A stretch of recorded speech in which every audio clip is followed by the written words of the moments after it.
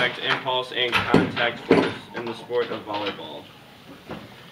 So, let's take it away, Ethan. What we were measuring was the change of momentum, the force from contact after it's been contacted, and the Magnus effect. And Matt will talk about Magnus effect and the problems we encountered later. So we did um, six different contacts. So the soft bump is where the ball is falling down and then you hit it with both hands, coming up like this.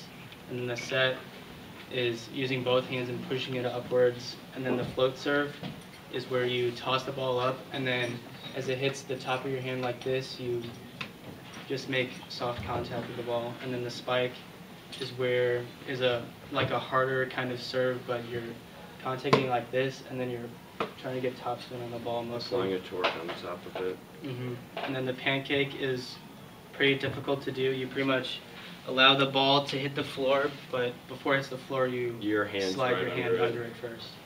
And then the dig is um, what happens after the spike. So the spike is coming towards you, and you dig it like this.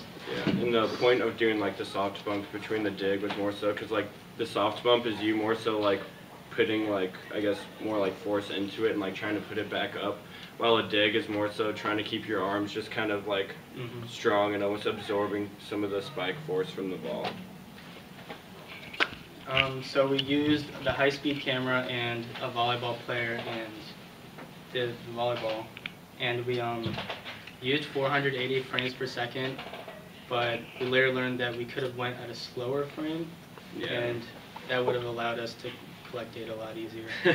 and then um, from the video analysis with the frames per second, we were able to use Logger Pro and then analyze the data and make graphs from that. Yeah. And then uh, this is our soft bump graph, which is of course all in the Y just because it's just easy straight up and down. And pretty much, we didn't get our contacts time so much from our graphs, but actually going back and looking back at our data. But I mean, as you can see, these are pretty much the contact times for the most part and seeing how it goes back up and down and whatnot. And we just got the enter velocities just from taking slopes from incoming and outcoming to get the uh, impulse of the ball. And then these are just more graphs. For the dig, since it actually does go in the X and Y direction, we had to do a little bit more fancy stuff. Float serve, we decided to find out the like the so when you when our person hit the ball, it wasn't completely in the X direction. So we actually found out the angle of launch from it, kind of. So you can look at a data table for that later if you really want to. Um, a spike, which was pretty cool. Pancake, which kind of looks like a ball bouncing almost.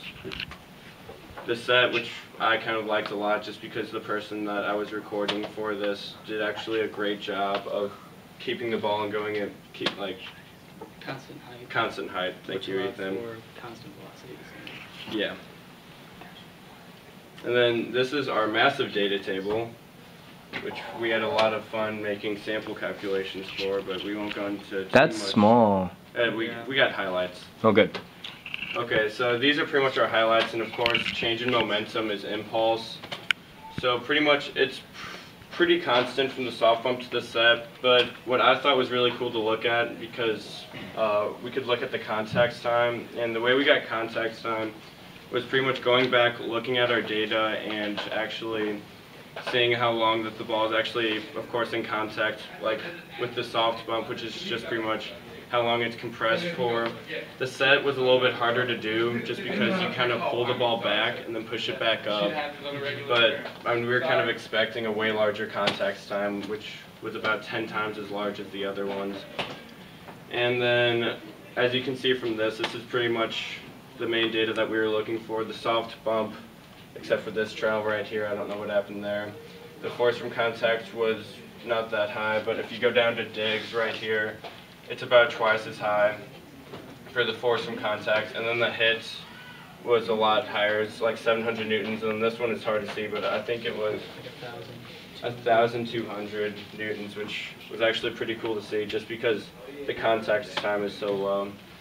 And the pancake and everything else was, of course, representative. Alright, um, I learned Magnus effects kind of in a different way, and I saw this image about 20,000 times on the internet and I didn't really understand it until I found an explanation that I liked, which is the explanation I'm going to talk about. So I just thought about it as pretty much the ball up here is pushing air this way, which is almost slowing down the air on the top, while the ball is pushing air this way, which is speeding it up. And one of, uh, I'm probably going to say his name wrong, it's the Italian guy, Bernoulli. Bernoulli. Bernoulli.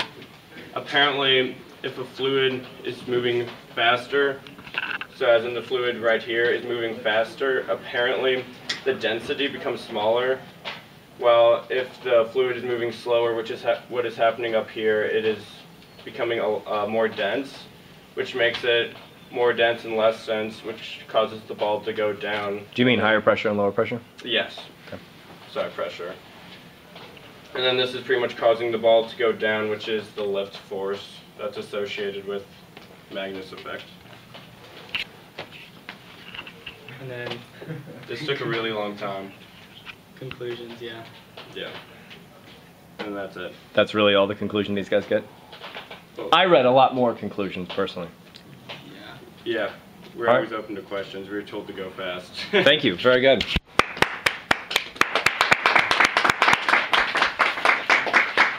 One question?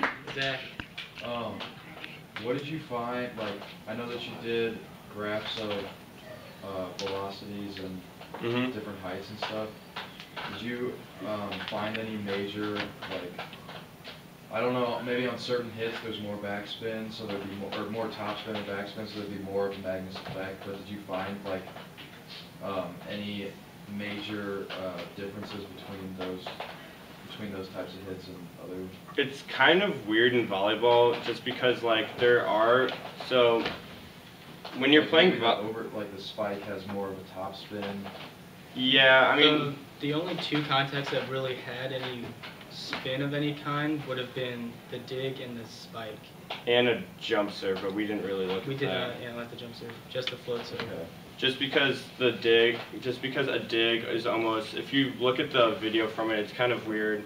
So the spike will put topspin on it, and then the dig actually almost kind of reverses it. But what, like, I'm asking, was it like enough of a difference that you could tell?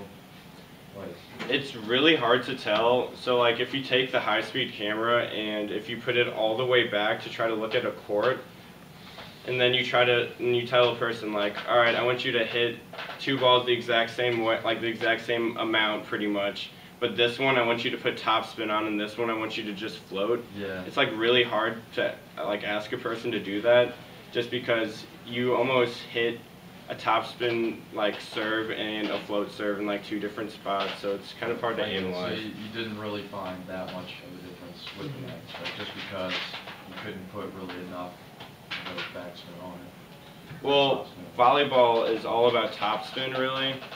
I mean, I guess you could do backspin on it, but if you're doing that, you probably just messed up. Backspin on a dig when you're getting it back to your own Yes. players and you want more time. That's true. Yeah, so they would stay in there longer. I think, I, I also wonder now, like, thinking about yours versus ours, because the volleyball takes up more space, it's bigger, hmm so I wonder, like, would that, does that have to do with increasing the Magnus force too? I'm sure it does, no. Yeah, maybe I don't know. Indie Lab next semester. Indie Lab, second semester. Good work, It's guys. really hard to tell. though. Yeah.